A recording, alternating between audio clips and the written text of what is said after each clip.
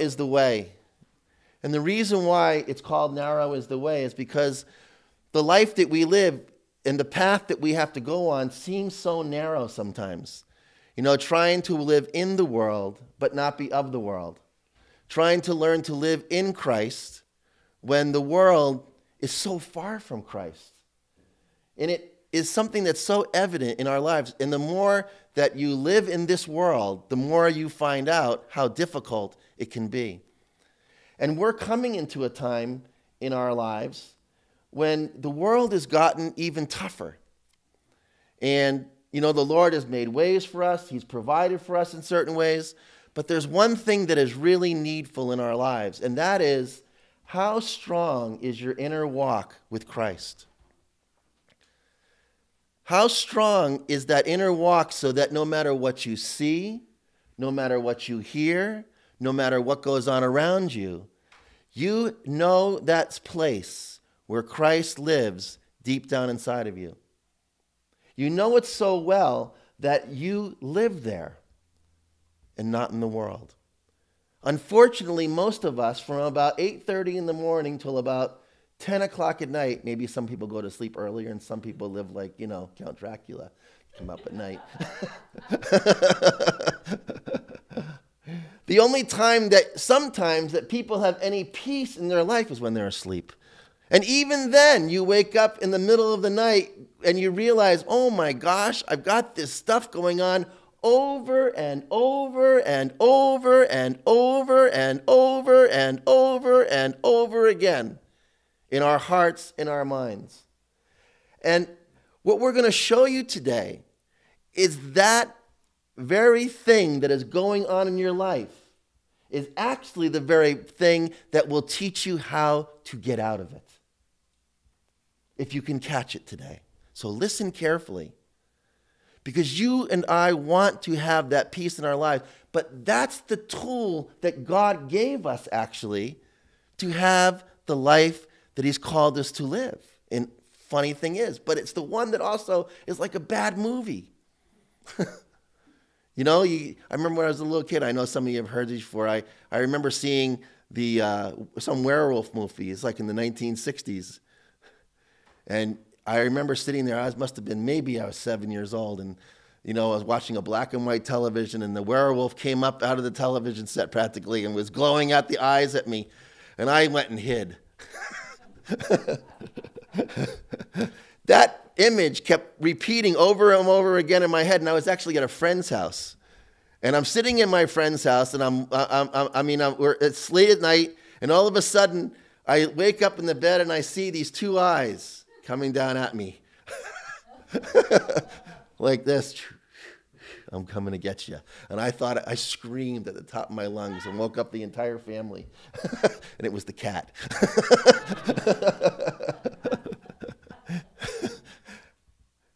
the question is, is how many of us experience that in our own lives with our own fears and our insecurities?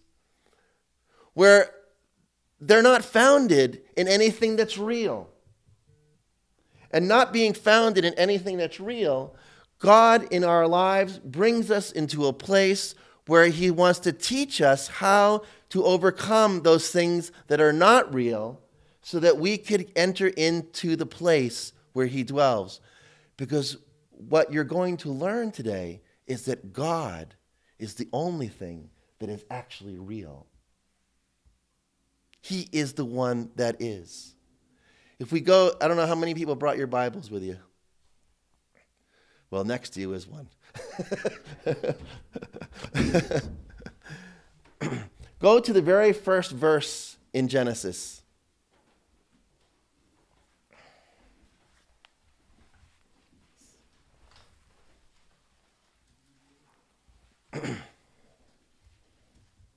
See, and the world's calling me right now. my phone.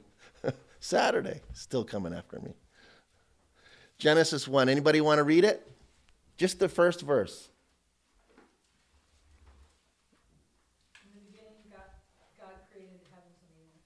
In the beginning, God.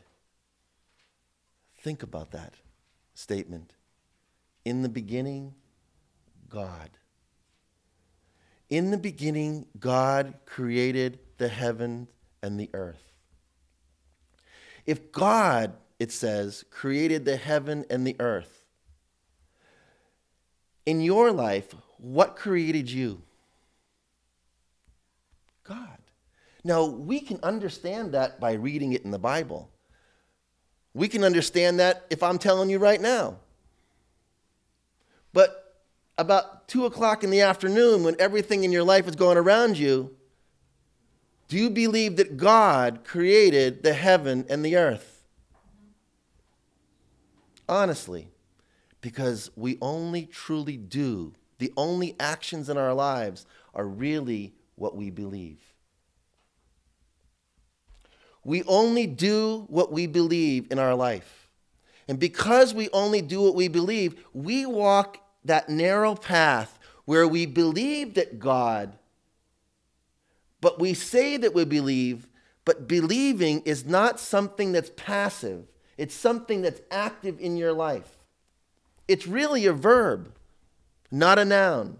I believe, and in turn, I act. I believe, and in turn, I act. So, in believing, when I act, when I act, what's going to take place in my life? You're going to show forth fruit of that belief. That means you know. You know. That means that when everything is going on around you that is crazy, wasn't it the Word of God that said, and God, in the beginning, God created the heaven and the earth. It says, I believe it's in Galatians, that everything was created in him and through him, and nothing was created without him. And so, if you're going to experience life, that means you're experiencing life because God created it. You see, we can understand that intellectually because you know why? We've been conditioned to. But do you know it? Do you know that God created everything? Do you know that everything is created in Him and through Him, and nothing, not some things, nothing is created without Him?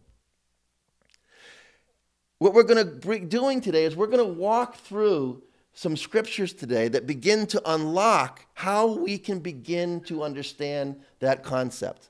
Because if you can understand that concept, you're going to find out something that has been with you your entire life since before you were born. In fact, since the councils of eternity. In fact, since God existed, you have always been known, right?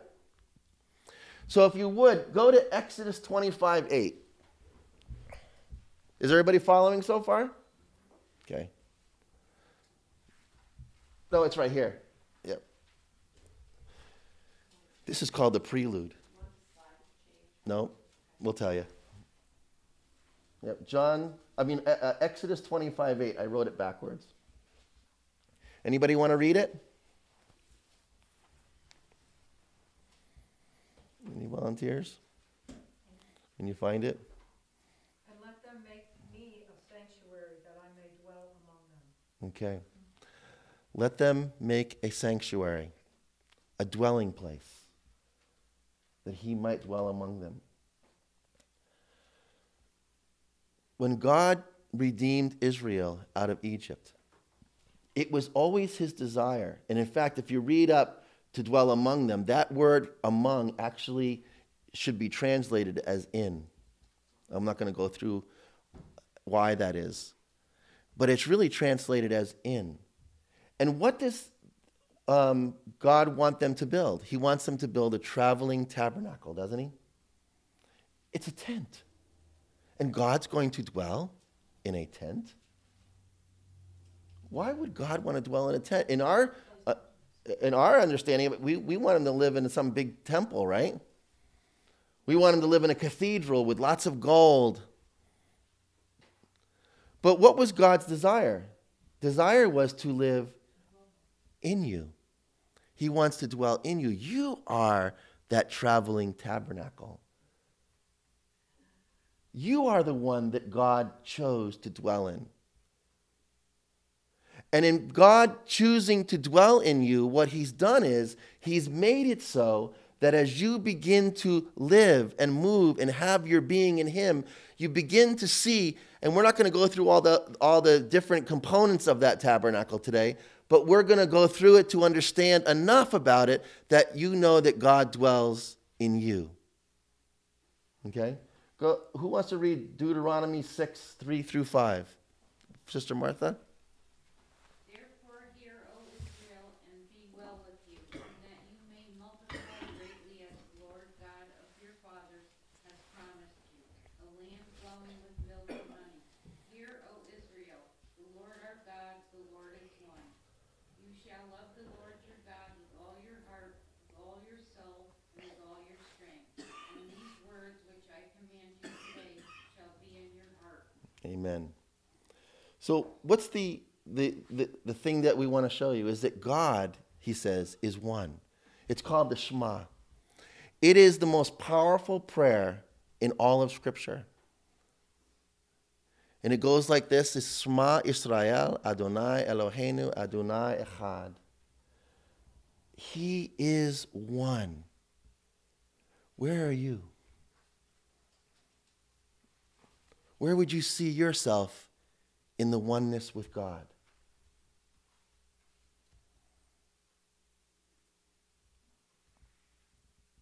You can raise your hand.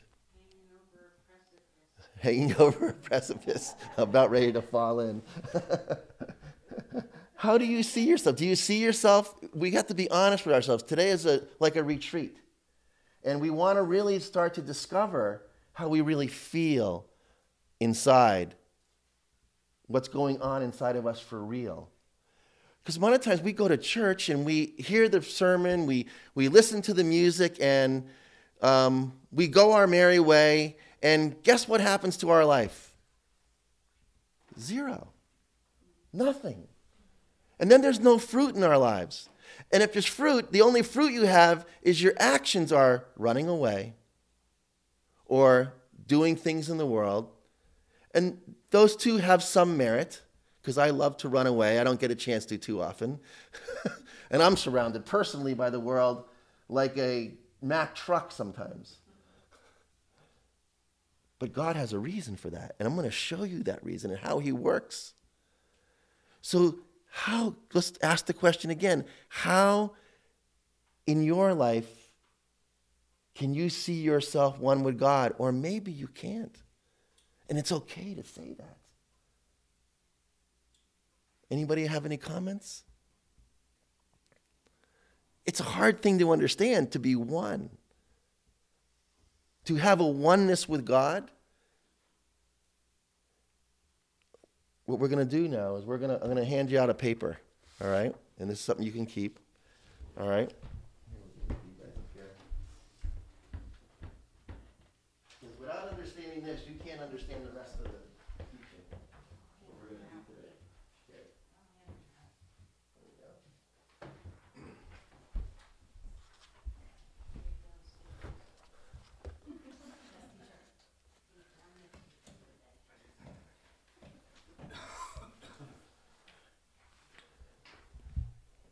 Because this is where we are many times in our lives. We're caught between this tree here, which is, everybody's seeing it, is the tree of the knowledge of good, good and evil, and the tree of life.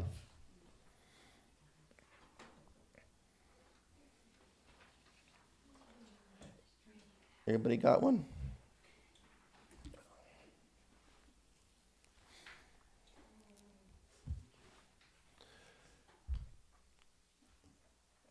Now, many of these things we've been touching on for a couple years now.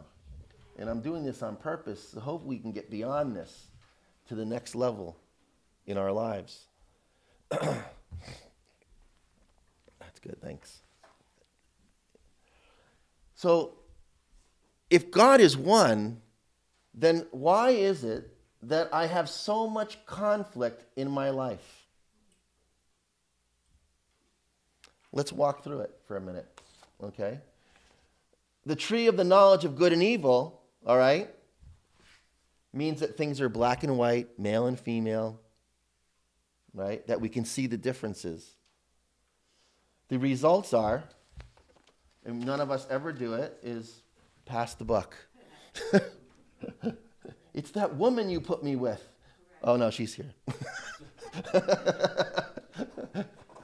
How many times do you do that? Because what are you doing when you pass the buck? You're, you're trying to protect yourself because you're afraid. Deep down inside, there's a fear. You don't experience that oneness. You're not experiencing that oneness. You're experiencing fear. You want to protect yourself.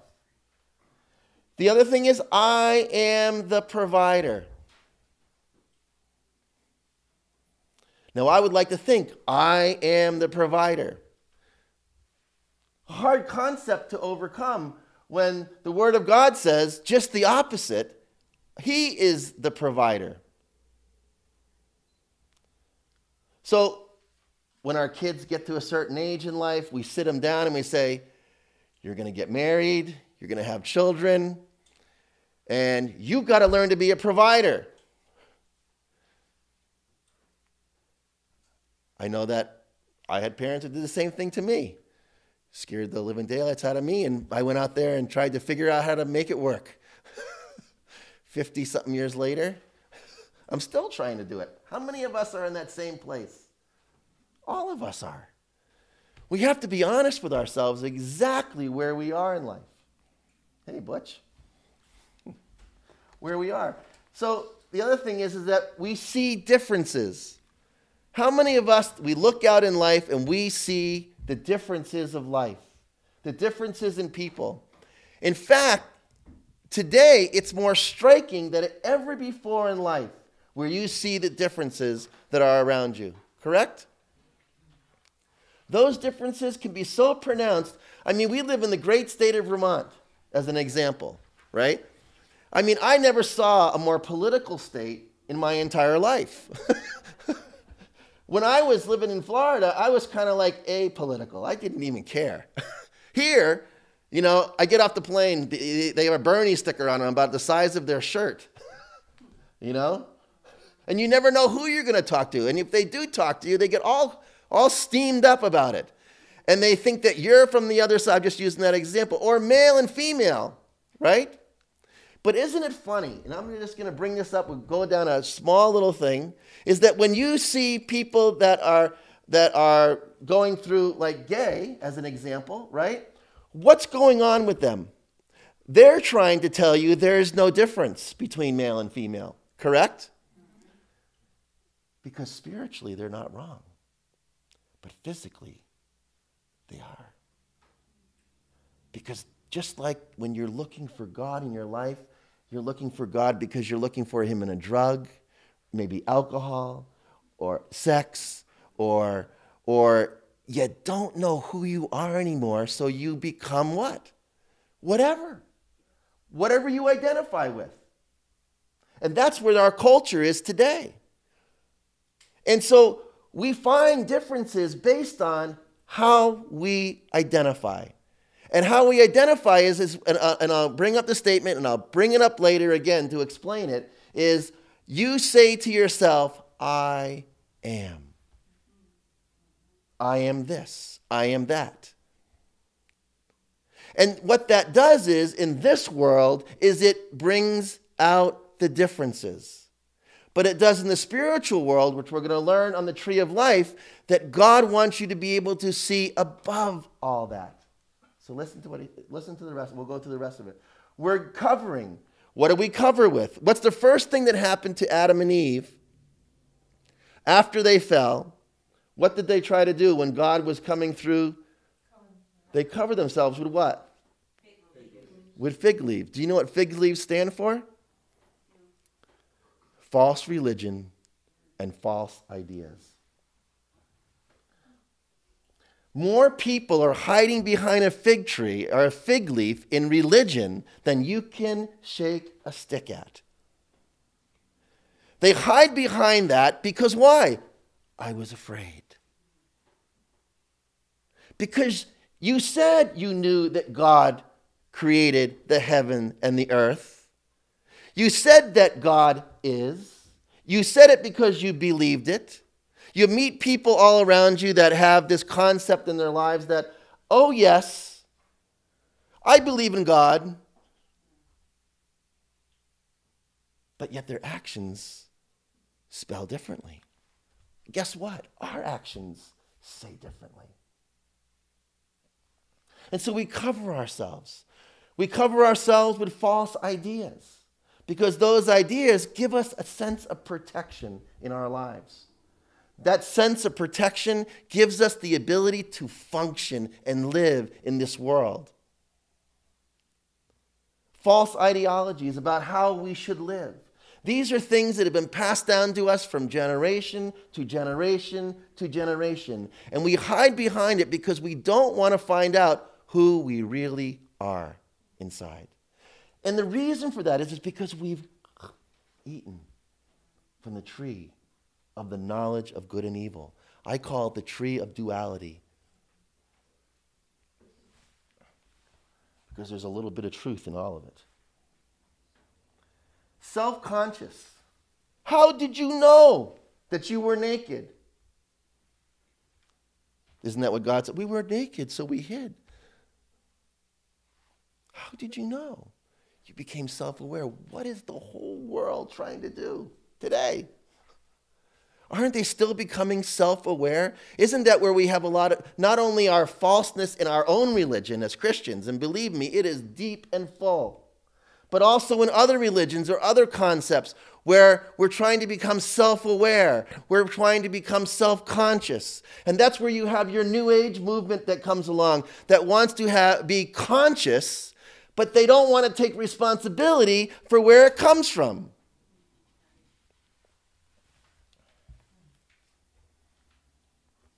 So they're naked and aware, not responsible.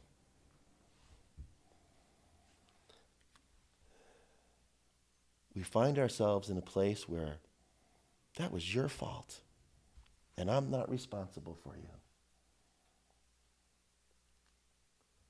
taking responsibility is an attribute of the tree of life. And we'll get to that. Greek thinking. Now, I'm sure you've heard me say this before. Do you know what Greek thinking is? Greek thinking is when you think linearly. You think straight. Like Greek thinking would be you're born and you die.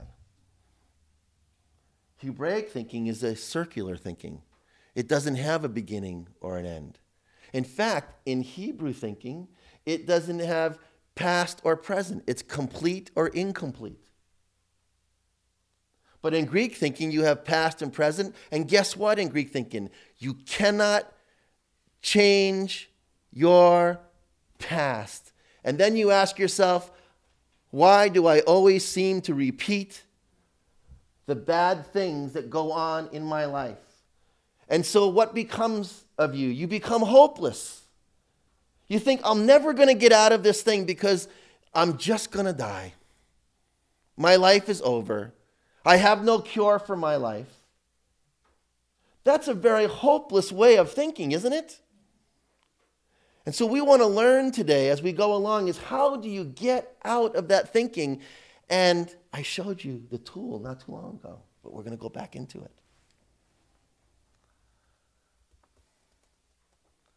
I, I am God. Yep, you're God. And everybody else is not. now, we would say to ourselves, I would never think that. But believe me, in your individuality, you have become a God. And individuality is a concept that comes from Greek thinking. Hebraic thinking never had that. They thought about the tribe. They lived and died for the tribe. They made sure that the people around them were, were a part of who they were. Today, I mean, we live. If you here, it's maybe a little different. We actually have houses too far away. We don't know our neighbors. even when I lived in South Florida, you had like three feet between houses, maybe four. You didn't know your neighbors. That's why here we've tried to promote community so that you have community living because that's circular thinking. And in order to be able to live in community means you have to be responsible for your neighbor. To live in community life, you have to be responsible for what goes on around you. In fact, in circular thinking, you become responsible for everything that takes place in your life. That's not my responsibility. And we're going to get into that in a little bit. Outside the garden.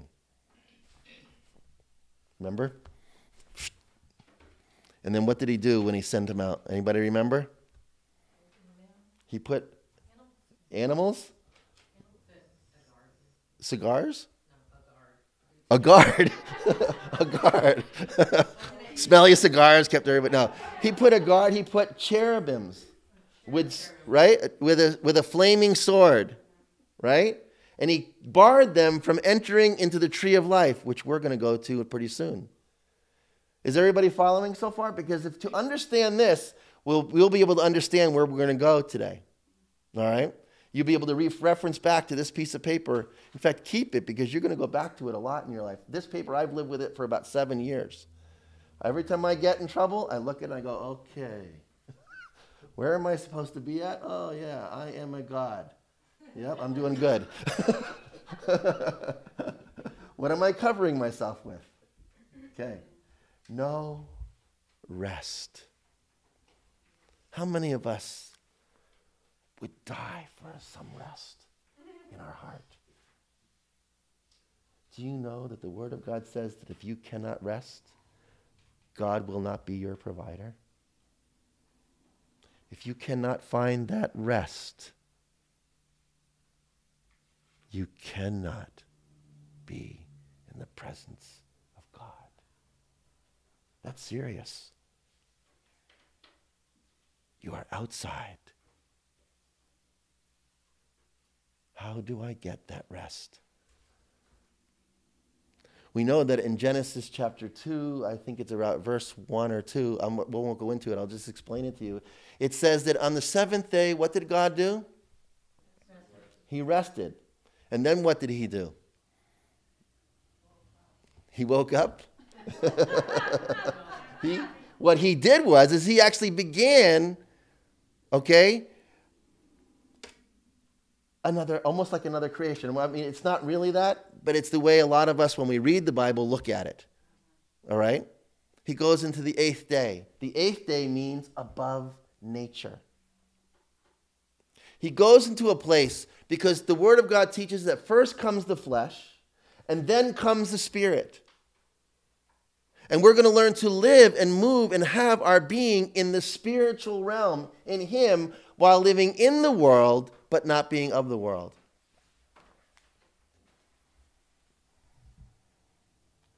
So, rest is really important. And that rest is not a rest like the Word of God, what we think it is. Because what does Jesus say? I will give you rest, I will give you peace, not as the world gives, right? Because the only peace you get in the world is when you buy a brand new car. and the peace leaves when the bill comes. You get that wonderful new house. And a couple years later, the clapboards start coming down, and you're out there like Father Paul, fixing them up. because what happens in this world is that it decays. Because what's valuable is not what's on the outside so much as is on the inside. All right? Lower self nefesh, I'll get into that. Logical thinking. Logical thinking is something that you and I do every single day, right? Well, many times you'll meet somebody, maybe sometime you'll sit with me, and doesn't sound very logical. But if it wasn't for logical thinking, we probably couldn't have gone to the moon. So logical thinking has its place, just like everything else has its place. But logical thinking doesn't allow for creative thinking as much because you got to have it all figured out. I'm just giving you little synopsises. Temporal light, and I know some of you have heard me talk about it in Genesis chapter 1. Uh, the first day, what does God do? He creates light, right? The first day God created the light. That word is or. That is the light of inspiration, by the way, the light of instruction that goes on inside of you. In this, on the fourth day, he creates Maor. That is the sun, the moon, a sconch. That's your physical light. And so we live by a physical light, but never experience many times in our lives that inspiration, that inner instruction that comes into our lives so that we can begin to move in Him as opposed to just moving in the world. And so that's what was open to us when we ate of the tree of the knowledge of good and evil. It was always there. Remember, the tree of the knowledge of good and evil was in the midst of the garden with the tree of life outside the tabernacle, no entrance. That's why we're a priestly people, a holy people, a people set apart because we have access. And why do we have access? Because Jesus went to the cross for us. But what happened to us? Most of us walk around just like we've never had access, even though it's been given to us. We're like people that have been given an amazing gift. And we, we walk around saying, I don't know where the gift is. And it's sitting right in front of us, including me. How do I access the gift that God has given me? So we find ourselves living outside the t- tabernacle. Perceived dominion, nothing can happen without you. I'm in charge of my own place. I have dominion. But that's not dominion that God gives us. And we're going to learn about that.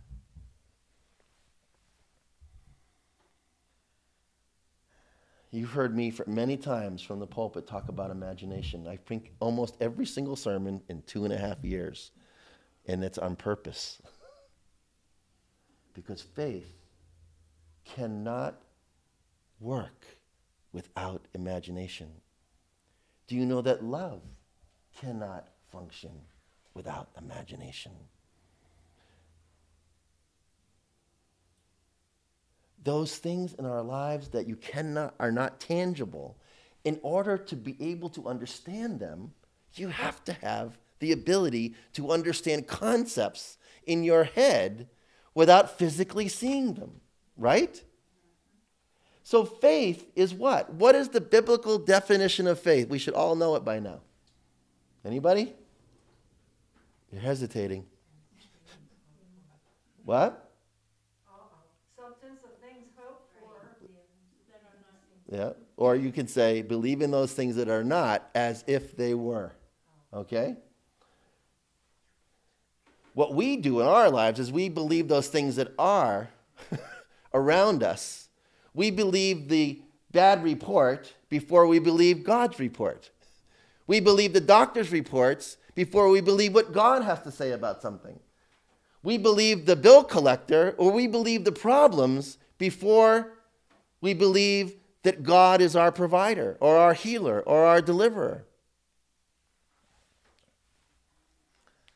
And so, imagination, okay, always produces but when imagination becomes fantasy, it produces nothing. Fantasy is on the side of the tree of the knowledge of good and evil. Fear. fear. I know that none of us are afraid because we're macho men. but that fear that you're reading here is only fallen awe. Because God wants us to be in awe of Him, right? But when that awe is fallen, what happens? Because we're in awe of Him, because we're coming into His presence. We're amazed at who He is. That's the kind of fear that it's talking about. But once that fear is fallen and you're not living you're living in the tree of the knowledge of good and evil, what happens to you? That fear falls and you become afraid because you've been separated from the creator of the universe. And so you live in fear, not knowing what's going to happen to you, everything's going wrong. It was Job so famously said, That which I feared the most has come to pass. And what did he do? He made sacrifices for his kids because he was afraid that something might happen to them. And so we act out our fears in our lives, and what takes place? That which we feared the most comes to pass in our life. Hold on to that for a minute because that's going to be key today. Conditional love. I only love you because you love me. But what God wants to do is He wants to teach us how to love unconditionally. And we're living in our fallen nature. And what is our fallen nature? Well, when you're about 12 and 13 years old, you don't feel like you have a fallen nature. But as you get older, what happens to your nature? your nature begins to decay, right? Our outer bodies begin to decay. That's just a simple level. On a more deeper level, we're living in a fallen nature means that you're living in sin. You're living in the, in, in, in, in, the problems of life. The fallen nature sees the problems of life and cannot see above them. It's that part of your brain that, for whatever reason, it, it doesn't have the ability to look beyond the circumstances of life. That's living in your fallen nature. Let's just walk to the other side. the cross. I remember sitting with a pastor about a year ago, and um, I was I said to him, I, I'm not going to mention names, but I said to him, I said, you know, isn't it amazing that Jesus would give his life on the cross? And he goes, yeah. And I go, and that cross has so many benefits from it because it's the tree of life he made gave us entrance into that tree of life, right? So that we could have life again. Oh no, that was the tree of the knowledge of good and evil. And I said, No, if, if it's the tree of the knowledge of good and evil, we're lost. and he argued with me, told me I was absolutely wrong. Can you imagine? And guess what? The only way that you can understand the tree of life is if you've experienced it. You have to have experienced that tree of life because it's not logical thinking. It's foolishness, the Word of God says, right? To the who? To the Greeks. To the Greek thinker, to the linear thinker, it makes no sense. So if you want to have dominion, victory, blessings in your life, if you want to be able to learn to walk with God in the midst of your trials and tribulations, have peace with Him, knowing that He is with you, what are you going to do? You're going to go to the cross. It's the only way that you can get past that fiery sword of the cherubim. I always think of cherubims of like shapeshifters. Because in Scripture, you'll see them in different forms throughout Scripture. And they're guarding, they're keeping you out. But Jesus gives you entrance. And so, what's the first thing he does? The two shall be as one. Oneness. The Shema. Shema Israel, Adonai Eloheinu, Adonai Echad. Echad means one. You know what Echad means? It's like a, you know, in my kitchen right now, there's a whole bunch of bananas. And all of them are stuck on one thing. That means it's one set of bananas, right? What do they call a thing of bananas? Anybody know? A bunch. It's a one bunch. That's echad. It's one bunch, or a, or a bunch of grapes, all put on one. So it's a multitude to become one. That's what echad means. And so you and I, in the tree of life, we become what? One. When Adam meets this lovely lady in the garden who came from his side, what does he say? He prophesied what? Bone of my bone, flesh of my flesh, right? And they talked about becoming one. And when Christ talks about his bride, he talks about being one, doesn't he? That bride, the brideship.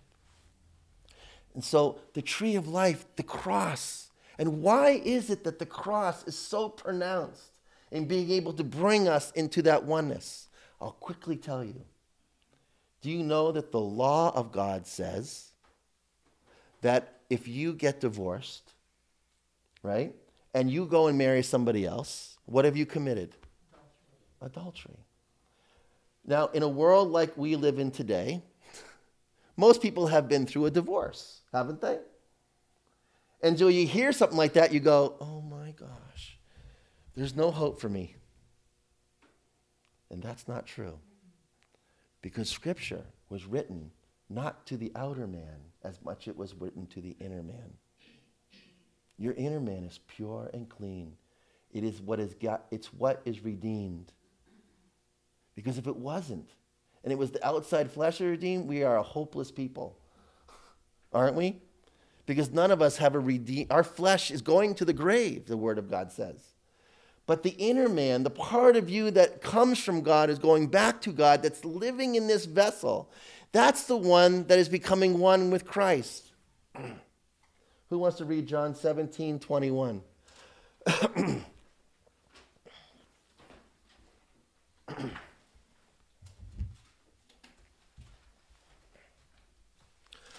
That they all may be one, as you, Father, are in me, and I in you, that they also may be one in us, that the world may believe that you sent me. Yes. Let me ask you a question. Do you think that Jesus' prayer went unanswered? No. That was his, one of his final prayers before he went to the cross. That we may be one with him as he is one with the Father. How do we live? Like it never happened. But let me tell you, it did happen. We did become one. We have access. We're going to learn about that today. So, male and female, marriage as one, eternal life. For those who believe in him, what does he give you? Eternal life. What does it mean to have eternal life?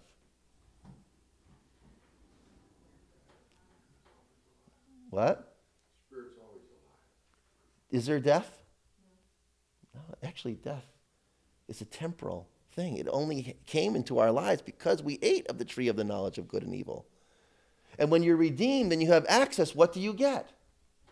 Eternal life. You get life. Why do they call it the tree of life? and so we have access. We have that tree that we can eat from, the fruit of, giving us access. You have eternal life. I mean, th- th- we, we can go that one for, for a long time. In fact, forever. it's that amazing, all right, to understand what that means in our lives. God is my provider. I love it when you go to Jamaica, they sing a song. God is my provider. I will not beg for bread. I've never seen the righteous begging for bread, David said. Hmm. Yet, how many of us in this room or in the world do you see people that are begging for bread?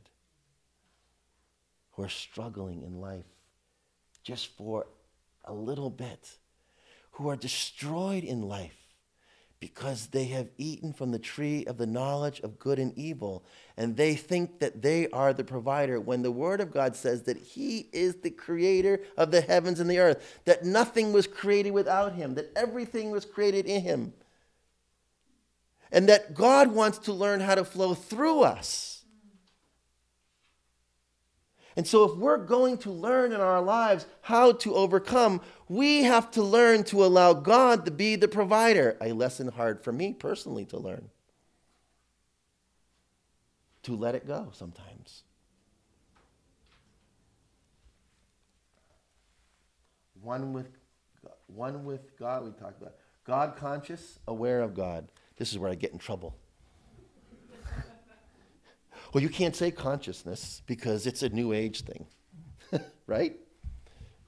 But self conscious is a new age thing, God conscious is a God thing. But it's all conscious. And do you know what it means to be conscious? It means to be aware. Wake up! To be alive. So, when they ate of the tree of the knowledge of good and evil, they realized that they were naked. They became self aware. When you eat of the tree of life, you become aware of God in your life. Most of us, in our fleshly existence, because we live as a duality, our outside flesh is a part of the tree of the knowledge of good and evil. Our inside man, that inner man, is attached to the tree of life once it's been redeemed. And so we want to be able to put our eyes on what's already been redeemed and not on what's on the outside flesh, the part of us that is causing us so many problems in our life. Always, like Paul said, I know what is right to do. You see, he understood the conflict but I find myself doing wrong. Because he understood that conflict. It's up to us to begin to understand that there is a conflict going on. And that conflict is between the tree of life and the tree of the knowledge of good and evil. And guess what? How do you begin to receive from those trees? It's what you eat. So watch your diet. I love carbs. it's not that diet. Your spiritual diet. What have you been eating? God knows what you need before you ask. Isn't that what the Word of God says? Yet we walk around like God never even heard of us or even knows what we want in our life. Are you hearing me? We start to beg God and pray, and when we, the more in trouble we get, the more we begin to beg. The more fragile we feel, the more we begin to come into that place when He wants to teach us that He is, that God is. That's that trusting relationship. And we're going to see the difference, hopefully, before the day is out between an active lifestyle and a passive lifestyle. Because if you were to go to your parents when they sat down and talked to you about life, right, and you had to go out and make a living and you had to do all these things, or anybody in life, you would say, well, you have to do this. Because it's practical, we would say, right? So, how am I supposed to understand the, that God is my provider that he is the one that works with through me? And how am i supposed to understand what my job is? How am i supposed to be able to do it? We're going to hopefully see that today ask in prayer and it is yours how many of us read that and really believe it it says in mark he says ask in prayer believing and it is yours. We ask in prayer and hope that God heard us. When Jesus prayed, do you think he walked around? In fact, one scripture teaches us that there was one place he says, I'm doing this for the people. He revealed to you how he prayed. And it was looking at an impossible situation, a dead body that not only was dead, but it says he stank. you remember? And he goes to the tomb with Mary and Martha and the crowds. He says, Do you believe that I am the resurrection? Oh, yes, Lord. I believe. But they didn't understand. He turns to the tomb and he says, and he turns to the Father and he says, Father, for them, so that they might understand. I know that you hear me, and I know that you always hear me. Mm. That's the prayer of faith with imagination. And he says to the tomb, Lazarus, come forth! And freaks everybody out. Paula? Yeah, I have a question. Okay, so apparently I prayed amiss because the Lord said to me, pray from me. Pray from me. I'm not sure I get that. Actually, we're going to get into that today, so hold that question. Okay, Because I'm like a lawyer today. I'm building a, I'm building a case. okay. But that's a great question. Hebrew thinking, circular thinking. And what I mean by circular again is there's no beginning or end to it. See others' faults in you. So when I see you, I see myself. In fact, the greatest gift, one of the greatest gift that God gave us is that we see ourselves in one another. That's learning to eat from the tree of life. God is God, and we're not. Pretty simple concept, you think, right? But not always. We're living inside the garden. Noah, now that says Noah there. Noah means rest. It also says, you see, it says Manoah. Have you ever heard of the term equanimity? It means no matter what's going on in my life, what happens to you? I have peace. I'm at rest.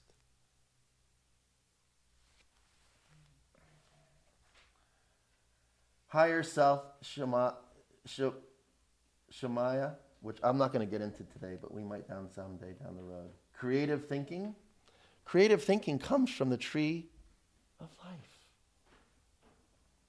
Light of instruction. Remember, I said Maor is the physical light, or is the spiritual light. It's the light of instruction, or the light of, or the light of inspiration. Inside the tabernacle, real dominion. When you were in the Garden of Eden, right? What did God give you? Didn't He give you dominion? And when Christ went to the cross, what did He give you? Didn't He say, "I'm giving you dominion"? And what have we done with that dominion? And what, did, and what kind of dominion did he give you? I'm going to go down to the state house and say, Well, I have dominion over you. You think it's going to go over well? They'll go, Okay, I guess. no, it's dominion here. If you have dominion in here, in your garden, then you'll have dominion out here. But if you try to have dominion out here, you cannot affect what goes on in here. What we try to do in our lives is we try to affect the outside world, hoping that our inside world will change. When in really, we should be doing is working on the inside man to affect what goes on out here. Imagination, one of my favorite words. Imagination always produces fruit. Fantasy doesn't. Remember awe? The fear of God, being in awe of God. Perfect love, the word of God says, what does what? Cast out fear. Cast out fear. So that you could live in him. Restored nature. That's your inner man. That's that inner nature, that part of you that is connected to God. Faith. And what is faith? And here's another definition of faith it's confidence. And guess what it's confidence in? things unseen, knowing that which is invisible, knowing that it is a done, a finished work. You're confident. Have you ever met someone with zero confidence? Do you believe them? No. You try to give him some confidence, don't you? And you're learning to live above nature. Above nature. I remember once I was with Father Paul and I was down in Jamaica and we had a bus load of kids and adults. This is, I think we had like 30 some odd people. And um, we had, uh, I mean, we had all these stops to go to. Everything was going crazy. Then we had one stop where everybody was living in a chicken coop, but it would smell like terrible chickens. I had people ready to kill me. and all I remember is one thing I had to do. I, I just kept one thing in my head walking on water. I have to just walk on water. you have to become above it. You have to learn to live above that nature to, then to get discouraged. Not easy. And so we find that what Christ is doing at the cross, when he's going to the cross, he brings us back into that oneness so that in that oneness we could truly begin to walk with God in our lives. So, how do we do this? You can turn, turn the screen. We went through that already. So, go, we're going to start to go through today the tools to be able to do this that God has given us in His Word. Go to the first, go to the first one, and the first one is obedience. Is obedience. Let me pull up my notes so you can read the scripture.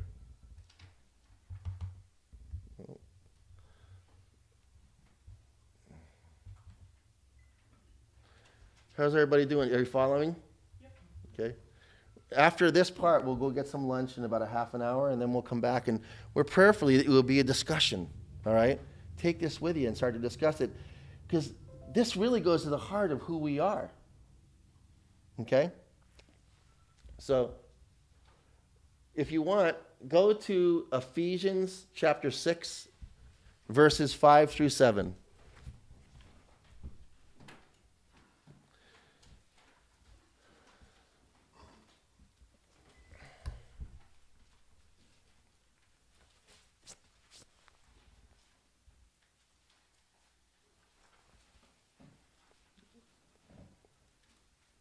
Whoever gets it, they can read it if they want.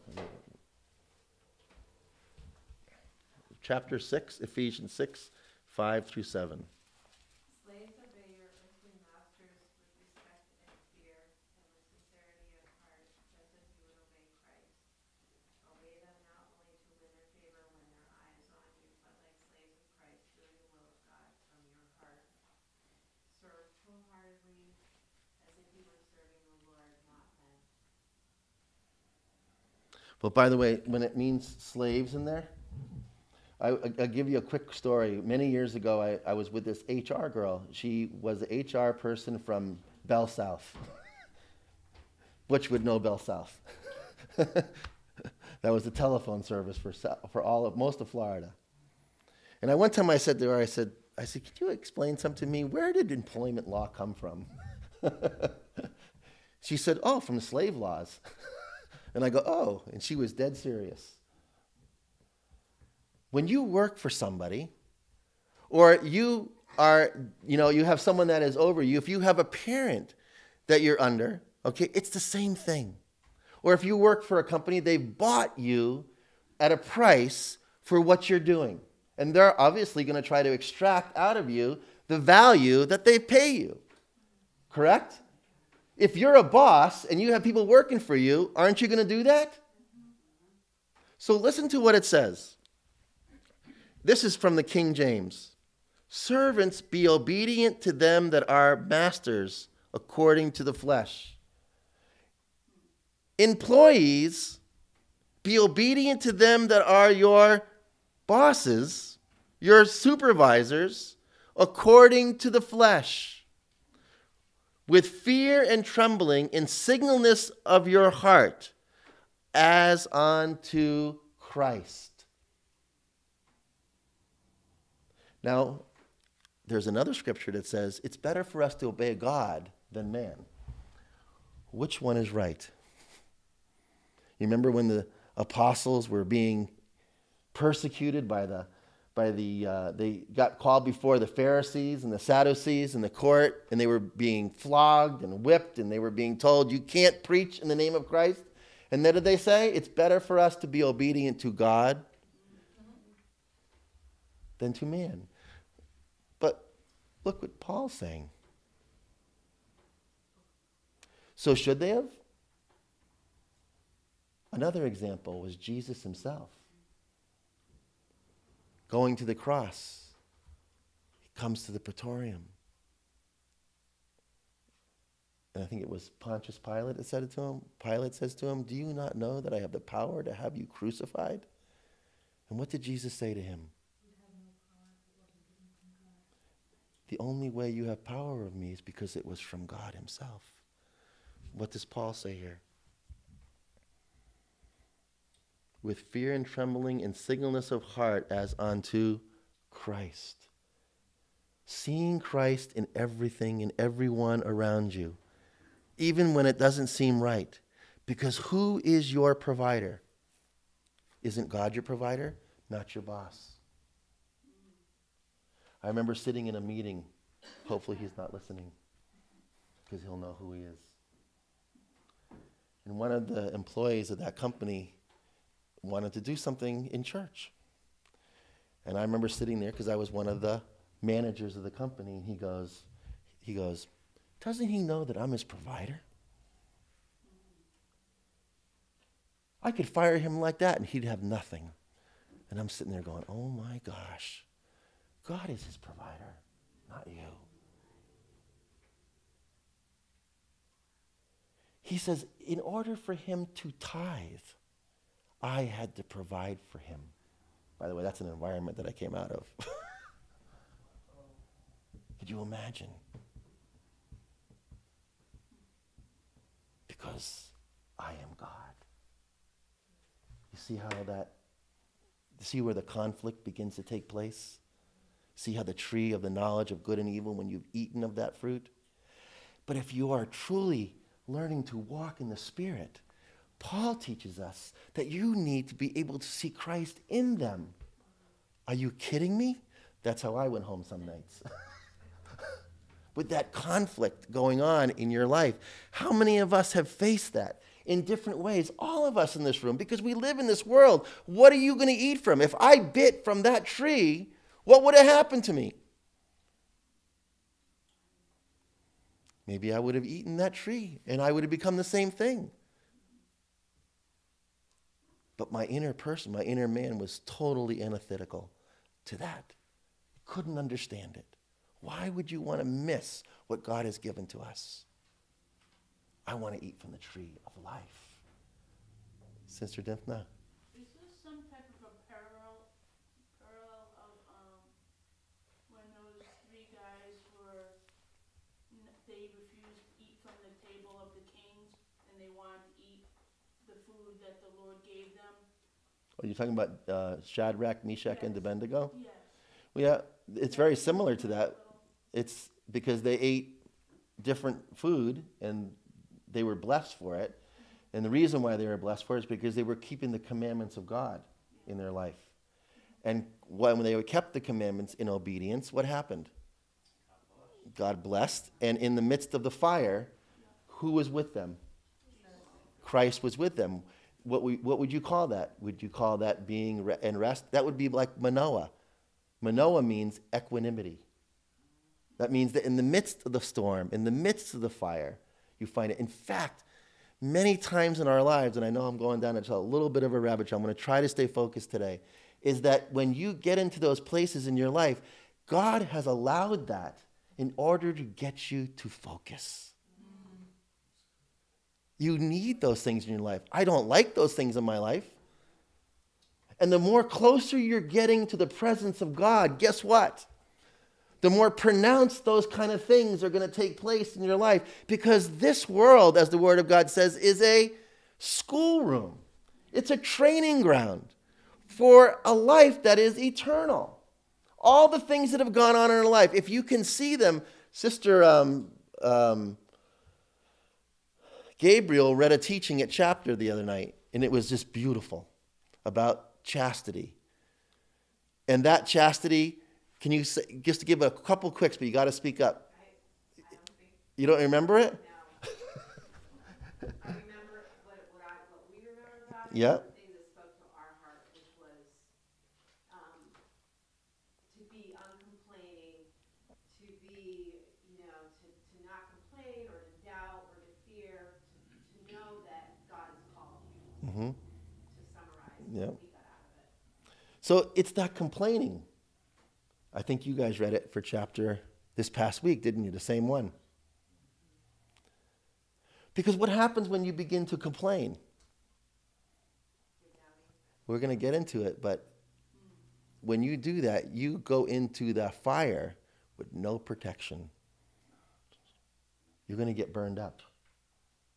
When you're out of obedience to God, you get burned up. Look at when the priests, when when um, um, it was Aaron's sons, I forgot their names, but they go to bring an offering to the Lord, and it was not the correct. It was it, it was unclean fire that they bring, and what happened to them?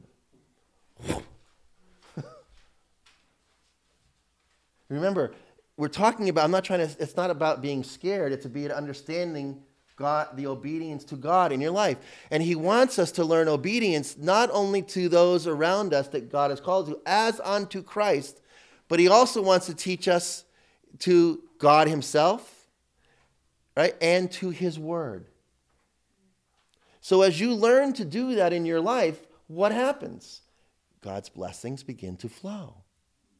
So these become the simple tools that you use in your life. And what happens when you come out of that obedience? Well, you're not thinking oneness anymore, are you? You're thinking you're eating from a different tree.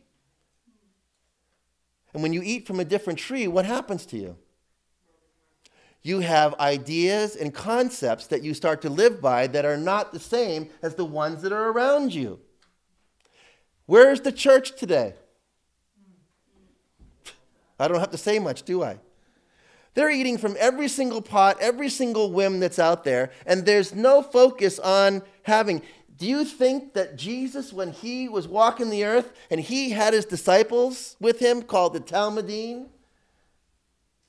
when you had a, uh, a rabbi like Christ and you lived under that rabbi, you ate and drank and slept and everything with him.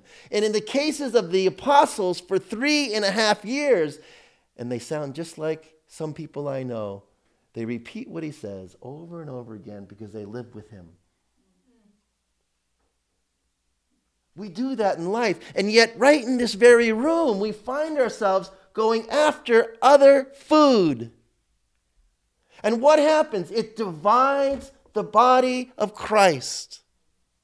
You need to eat from one pot, trusting that God is your provider. What do we do? We go out to every other place in the world saying, That's my meat. God has spoken to me. He's given me, and I'm not trying to be nasty. I'm trying to show you how to get into it.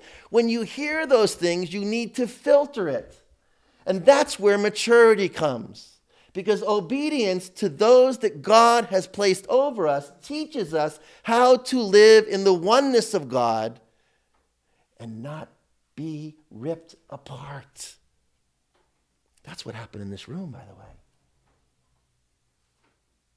They said, Oh no, God is speaking to me personally. There is a place for God to speak to you personally. But there is a place. Could you imagine? You work for a prosperous company, and everybody in the room decides to do their own thing. How far do you think that company is going to go? Not very far. Right? So, what's the tools they use? It's called employment law. right? They have to treat them fairly today. You have all these things you got to do, right? I know that you want to get rid of somebody, you write them up until you figure out how to get rid of them, right? employment love. But what are we learning to do? Doing it as unto Christ. So that when we come here, the same thing needs to take place in our lives as unto the Lord because Father Leo is not my provider. God bless you for that. God is my provider. He is my healer. He is my deliverer. But I'm going to learn to focus to eat from one tree. And when I hear the other messages out there, I've got to learn to bring it into the filter so that I know what to do it within the context that God has called me to. When that takes place, you'll begin to see fruit. So obedience is primary. Without obedience, you cannot move forward. You know, they, teach, they go to the warfare schools here. Could you imagine disobedience in the army? I mean, they caught some guys drinking in some foreign country not too long ago, and they brought them home, and they weren't very, you know, were tough on them, right? Because how can you serve and be in the military and not? Now, I'm not saying the church is the military. The church is about learning the instructions of Almighty God because you live eternally with Him. And this is the training ground.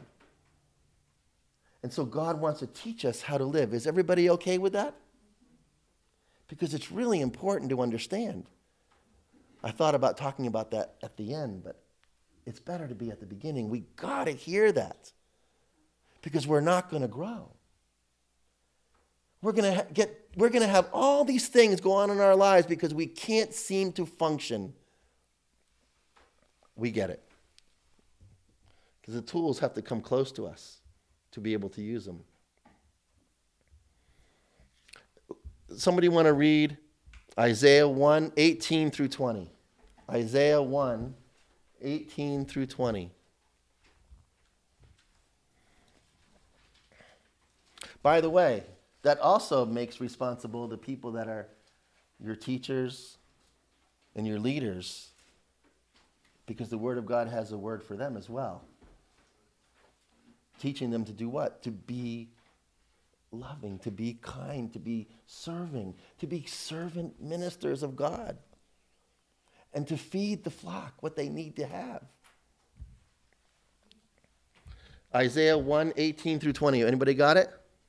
Come down, let us reason together, says the Lord. Though your sins are like scarlet, they shall be as white as snow.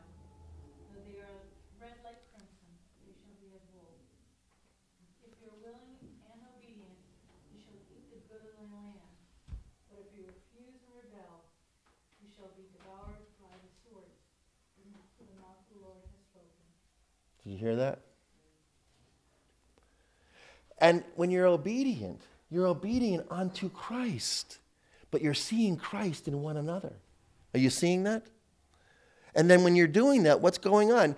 Eh, The Word of God says it's up to you to beat a path to a wise man's house, to hear the Word of God. It's up to you to be able to do that. You have to stretch yourself out so that you bring yourself into subjection to the will of God in your life. And when you do that, what does he say? It says willingly and obedient. The first word is being willing. And if you are willing, just being willing gives you the impetus that you need to be able to get into that place. I remember our bishop years ago he says, just be willing to be willing. Are we willing? Are we willing to get into that place? We're never going to be perfectly obedient, but we're going to be willing to be there in our lives so that we can have the blessings of God, so that we will eat the good of the land. That land is where? It's not some far off place. That land is right here. And you're going to have blessings flowing in your life because you've eaten the good of the land that has been produced from your own heart. That's where you should be having it. Not the food that we're going to eat at lunch in a few minutes. because I'm going to tell you that most people have better food, you know, like kings and queens. I bet you they eat beautifully, right? Better than us. Because the fruit is spiritual fruit that you want to eat of. That fruit that gives you peace, that fruit that gives you blessings in your life, that is able, like Sister Dimphna has reminded us, is that in the midst of the fire, you find Christ. Because why? They were obedient to the word of God, even when the world around them was antithetical to the word. And that's what we live in today.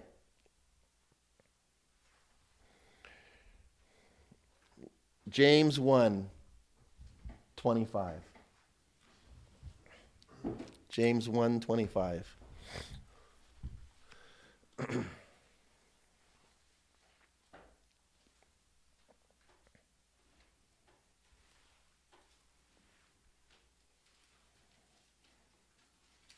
Whoever finds it first, speak it loudly.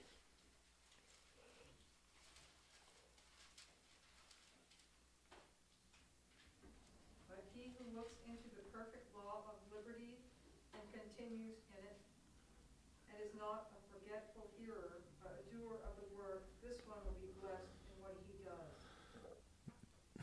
The perfect law of liberty.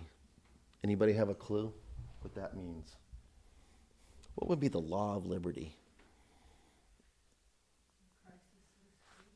What? Christ has set us free? Doesn't he give us liberty? So, the law of liberty, freedom's ideal law of liberty. Every single law that you find in the Old Testament was transferred to the inner man. Did you know that? Do you know that most of the laws in the Old Testament you cannot live this day? Most of them can't be lived without a temple. And if they did animal sacrifices today, you'd probably have some corner organization looking for you. Especially maybe in Vermont, right? now, in Israel, not too long ago, they started animal sacrifice again. Did you know that? And they've reestablished the Aaronic priesthood. How they have done that, the records were lost in 70 AD, so I don't know. but I'm sure they must figured it out, and I'm not the one. I'm not. I'm not part of the Sanhedrin, so I'm sure they'll figure it out. And it's actually called the Sanhedrin. The perfect law of liberty is the idea, the understanding that the laws of God are written on your heart. Right? And being written on your heart, you're going to learn to live them. And every once in a while, I'll bring out some of those laws, the ones that even seem ridiculous, and show you how they're actually written on your heart and how to overcome. But the law of liberty means that you have liberty in Christ. And when you look into the mirror of freedom's ideal law, that law of liberty, you have freedom in your life. You're no forgetful listener. You have gone to the cross. Christ lives in you. And now you are an overcomer. And is that what God wants? We read it in Revelations, right? And Revelation says, for them that have overcome, the overcomers in life. Those are the ones that God gives you the ability to be pillars in his temple. And so if you're looking into that law of liberty, right, you have the spiritual work in your life because of your obedience to that law the obedience to that law, knowing that you are free, even when you have someone over you that is miserable, even when the world is miserable to you. That freedom is in you. That's the short of it. That brings us just before lunch, and we're going to get into um, learning some more of the tools. We'll take a break. But it's the concept of understanding that your imagination is redeemed. You have a redeemed imagination. And to understand that means that your imagination, I want to say something probably is going to push the envelope a tad. That when you understand who God is, when you begin to understand who He is inside, if you can understand that you can't understand love without imagination, you can't understand faith without imagination, you can't understand God because He's not flesh and blood without your imagination. Today, you are taught that imagination is just whatever. But if you were to go and think linearly and you have a Greek thinking, you still need to learn to use your imagination, don't you? I mean, even the concept of numbers is using your imagination. But when you learn to live by faith in Him, God uses your imagination to do it. And who is our father in faith? Abraham? What did he do? God brought him outside. He says, Avram, look at the stars of the sky. Count them. Your prodigy will be as the star of the sky. He was looking at a, pri- a, a wife that couldn't get pregnant, and they were old, really old. He was looking at the impossible, and you're doing what? How could he understand that concept if he didn't have a really good imagination? If God, so God merges with your imagination. He actually becomes one with your imagination. We think that he becomes one with our flesh. He becomes one with our imagination because God, in the end, where is he? He's in you. Isn't he? God dwells in you. And that's the part of you that he inhabits. And we're going to get into that. You're going to be able to see that today. We're going to actually walk you through the tools that David used to be able to come into the presence of God, to be able to walk and to have a fruitful life. Even when he was in his worst moments, he was still considered a man after God's own heart. How does that happen? We would like that in our lives, right? Just the fact that you're shaking your head when I said that, it hasn't happened to you yet. Because you should know. Okay? So we're going to take a break. Uh, I'm sure they'll have lunch out soon. And, but I'm asking you to keep your conversation talking about this because it's going to be preparation now as we have lunch to be able to go into some stuff that you've probably never heard before. And you're going to find it, I think, very interesting in your walk. Okay? Let's just bow our heads. Lord, we thank you for your word. We thank you, Lord, for the life that you give us. And that, Lord, you have provided us a way through your word to be able to be overcomers, to live in this world but not be of it. That, Lord, you would teach us how to live, Lord Jesus, in the tree of life, that you gave us access. And that, Lord, when we learn to see you in everybody, no matter what, that, Lord, we can see everything as if unto Christ. We bless you and we honor you. We ask this all in your precious name. Amen and amen. And we're going to start back about one. All right. Praise the Lord.